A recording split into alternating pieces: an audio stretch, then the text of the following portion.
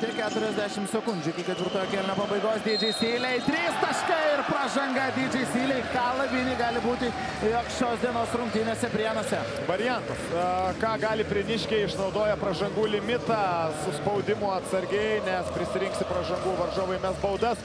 Labutskas vietoje Briusvico.